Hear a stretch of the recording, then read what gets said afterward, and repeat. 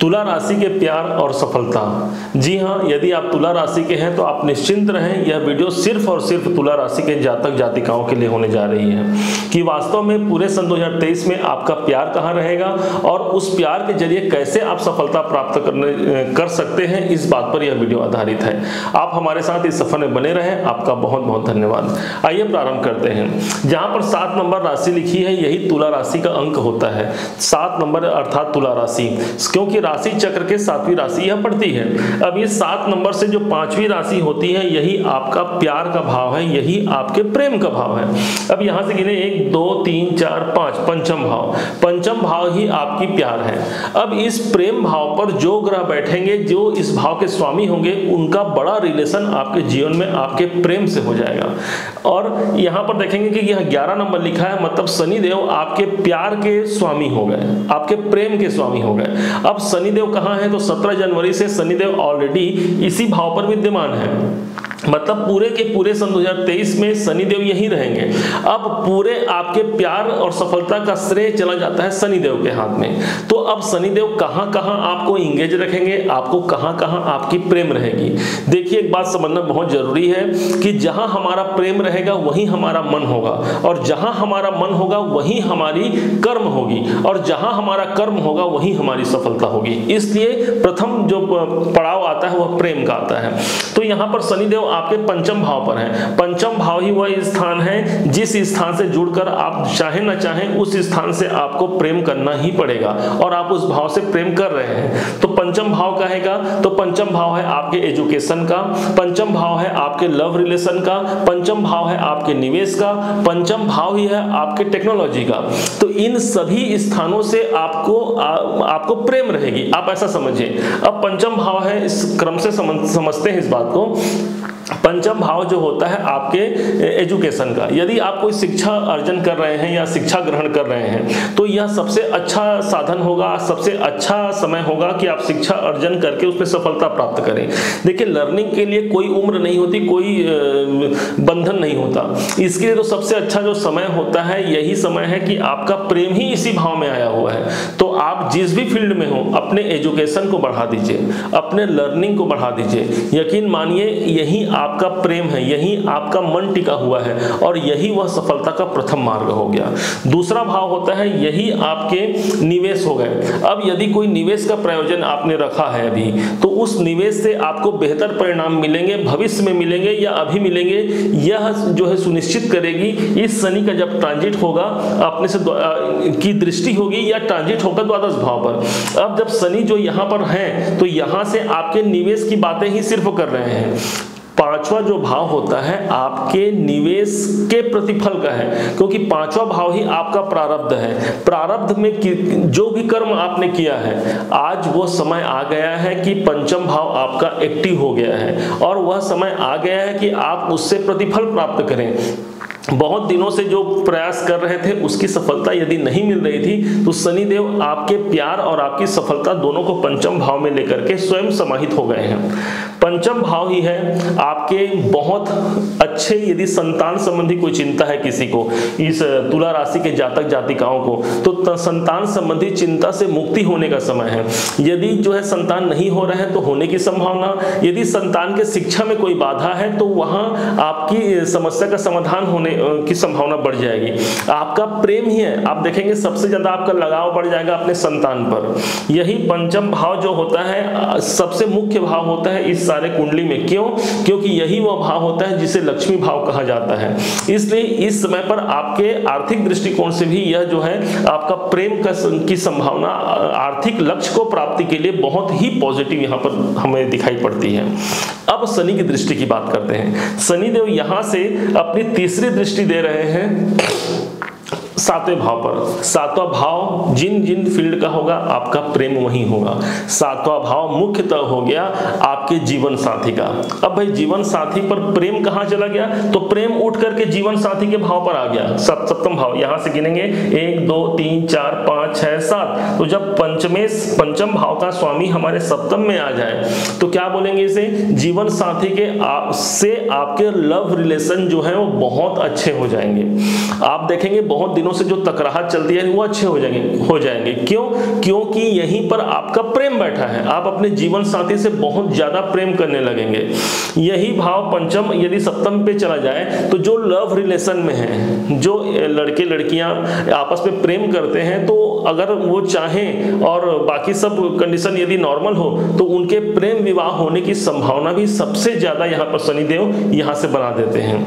यहाँ पर पहले से ही राहु देव बैठे हैं और यहाँ पर शनि की दृष्टि अपने आप आ गई है। तो इसलिए ये जो स्थान हो गया, ये दूसरा कहे का हो गया? आपके बिज़नेस का, आपके व्यापार का। आप तो आपके प्रेम कहाँ चली गई? आपकी प्रेम चली गई है आपके बिज़नेस में। क्योंकि यहाँ से जो सप्तम भाव है यह बिज़नेस का भाव है। तो जब बिज़नेस में हमारा प्रेम रहेगा तो जाने अनजाने, चाहे अनचाहे, हम अपने बिज़नेस से जुड़ा हुआ ही कार्य करेंगे। क्योंकि हमारा प्रेम है भाई उस भाव पर। हम उससे प्रेम करेंगे, उसके ग्रोथ के लिए अनेक अवसर तलाश करेंगे। किन किन संभावना से उनमें ग्रोथ हो सकती है, इसका प्रयास करेंगे। उस बिज़नेस को बेहतर बनाने के लिए हम कोई बड़ा विकल्प चुनेंगे। हो सकता है कोई नवीनीकरण कर दे अपने बिज़नेस में। हो सकता है कोई पैसा डाल दे अपने बिज़नेस में। क्यों? क्योंकि आपका प्यार वहाँ है तो आपका मन भी जाएगा। मन गया है तो आपके शरीर भी वहाँ जाएँगे, कार्य में लगेंगे। और जब कार्य अच्छे से हो गया तो आपको सफलता भी यहीं से मिलनी है। अब यहाँ से शनि की बात करते हैं। शनि देव यहाँ से अपनी सातवीं दृष्टि सीधे लाभ भाव पर दे रहे हैं। प्यार कहाँ हो गया? भाई, प्यार आपके लाभ स्थान पर हुआ है। मतलब आपको सबसे ज़्यादा अपने लाभ की चिंता रहेगी। और चिंता ही नहीं, आपको प्यार हो जाएगा अपने लाभ से। अब लाभ से प्यार कैसे कहेंगे? हर समय अपने लाभ की चिंता रखना। तो भाई चिंता जहाँ रहेगा, व्यक्ति वही तो कार्य करेगा। तो इसलिए शनि ने आपको एक अच्छा अवसर ये भी दे दिया आपके प्यार के लिए कि आपका प्रेम ही बैठा दिया आपके एकादश भाव पर। तो एकादश भाव जिन जिन क्षेत्र का है, वहाँ वहाँ आपका प्यार होगा। एकादश भाव होता है लोगों के बीच रहने का। अधिक जन समुदाय का सोशल सर्कल का, इन सब क्षेत्रों में आप देखेंगे आपका प्रेम बढ़ गया है। आप वहाँ जाना पसंद करेंगे। एकादश भाव हो गया ये जो भाव है, एकादश भाव, ये हो गया आपके जीवन में आपकी इच्छाओं का। और जब इच्छाएँ, जब जो आपकी इच्छाएँ हैं, उस भाव पर यदि शनि की दृष्टि हो जाए, और वो भी प्रेम भाव के स्वामी की, आपके इच्छाओं में आपके प्रेम आ जाएँगे। आप देखेंगे इस समय पर बहुत बड़े बड़े विकल्प आपके सामने आएँगे, और उन इच्छाओं को पूर्ण करने के अनेक अवसर भी आप तलाश करेंगे और उन अवसरों को किस प्रकार से क्रियान्वित किया जा सके अपने जीवन पर, इसका प्रभाव सबसे ज़्यादा आपको देखने को मिलेगा इस टाइम पर। क्योंकि शनिदेव पूरे वर्ष 2023 भर यही रहने वाले हैं, कहीं जाने वाले नहीं हैं। इसलिए तुला राशि के लोगों पर बहुत ज़्यादा इसका सकारात्मक प्रभाव पड़ेगा, क्योंकि आपका प्यार और आपकी सफलता दोनों ही एकादश भाव में है। एकादश भाव लाभ का होता है, इसलिए लाभ के दृष्टिकोण से ही बहुत अनुकूल है। अब इस शनि की अगली दृष्टि की बात करते हैं, जो सीधे पहुँचता है यहाँ पर, दसवीं दृष्टि। एक, दो, तीन, चार, पाँच, छह, सात, आठ, नौ, दस। दसवीं दृष्टि पड़ती है आपके द्वितीय भाव पर। तो भाई, आपका प्यार कहाँ गया? आपका प्यार, आपकी प्यार की दृष्टि गई है। कहाँ गई है? तो सेकंड हाउस पर। सेकंड हाउस का है का? सेकंड हाउस होता है हमारे धन का, हमारे पैसों का, और सेकेंड हाउस ही होता है हमारे कौटुंब का, हमारे परिवार का। तो भाई, कुटुंब और परिवार में आपको प्यार हो गया। तो अपने देखेंगे आप, इस दरमियान आप अपने परिवार के जनों पर के लिए ज़्यादा चिंतित रहेंगे। उनके लिए कुछ अच्छा करना चाहेंगे जिससे उनका ग्रोथ हो सके। यदि कोई असहाय है तो उनकी सहायता करना चाहेंगे। यदि परिवार में किसी को आवश्यकता है आपकी आवश्यकता है तो इस टाइम पर आप सबसे ज़्यादा उनका हेल्प करना चाहेंगे, क्योंकि आपका प्यार है कुटुंब भाव पर। अब सेकेंड हाउस होता है आपके धन का। तो भाई, धन भाव पर आपका प्यार का होना मतलब क्या? सेकेंड हाउस होता है बैंक का। तो बैंक में आप देखेंगे, इस साल बैंक में आना जाना ज़्यादा हो जाएगा। क्यों? क्योंकि यह बैंक हाउस है। अब बैंक में आना जाना होगा तो निश्चित तौर पर ही यही बात है कि आप सकारात्मक जाएँगे, पैसे लेने जाएँगे या पैसे निकालने जाएँगे। तो दोनों ही कंडीशन में आपकी आर्थिक स्थिति यहाँ पर सुदृढ़ होती हुई दिखती है। अब इस धन के भाव को अगर देखें तो शनि की यदि दृष्टि धन भाव पर जाएगी तो आर्थिक रूप से आपको संपन्न बनाने के लिए शनिदेव स्वयं अपने आप आप आपको अनेक अनेक आपको कार्य कराएँगे। कारण कारण यही है कि शनि की एक दृष्टि तो पड़ रही है, साथ में शनि धनिष्ठा नक्षत्र में अभी चल रहे हैं और धनिष्ठा नक्षत्र के प्रभाव से मंगल उनके स्वामी बनते हैं। इसलिए यह पूरा सन दो हज़ार तेईस जो है तुला राशि के जातकों के लिए। धनदायक व्यापार में सफलता दायक ही होने वाला है। अब इस शनि ने इसी सेकेंड हाउस की दृष्टि के साथ साथ शनि के एक और प्रभाव समझिए। शनि जहाँ बैठेंगे, उस भाव पर आपका प्यार होगा, हमने पहले ही कहा। तो शनि यहाँ पर बैठे हुए हैं पंचम भाव पर। पंचम भाव मतलब सिर्फ़ आपके हृदय में, आपके मन में इस साल पूरे प्रेम रहेंगे। अधिक आप चाह करके भी क्रोध नहीं कर पाएँगे। क्यों? क्योंकि शनिदेव ऑलरेडी जो डिले के कारक हैं। हाँ नए लव रिलेशन में आपको प्रॉब्लम आ सकती है। या हो सकता है कि आप जो नए संबंध किसी से आप रखना चाहें किसी स्त्री पुरुष से तो उसमें प्रॉब्लम आ सकती है। तो इसलिए शनिदेव चाह रहे हैं कि आप जो है वो स्थायी रखिए अपने प्रेम को और सफलता अर्जित कीजिए। बाकी ग्रहों को समझने का प्रयास करते हैं। राहु देव ऑलरेडी सातवें घर पर बैठे हैं। तो राहु की किसी प्रकार से दृष्टि का संबंध यहाँ पर नहीं पड़ रहा है। कहाँ पर नहीं पड़ रहा है? आपके पंचम भाव पर। राहु के सात, आठ, नौ नहीं आया। आप केतु को देखते हैं तो एक, दो, तीन, चार, पाँच। हाँ केतु की दृष्टि आ रही है। तो जब केतु की दृष्टि पंचम भाव पर आ गए मतलब प्रेम को कहीं ना कहीं केतु भी प्रभावित किया तो अब केतु कैसा है? तो केतु जो है आध्यात्मिक ग्रह माना गया है। तो आप देखेंगे तुला राशि के जातक इस साल आध्यात्मिक दृष्टिकोण से अपने आप को बहुत उन्नत महसूस करेंगे। कारण केतु की दृष्टि।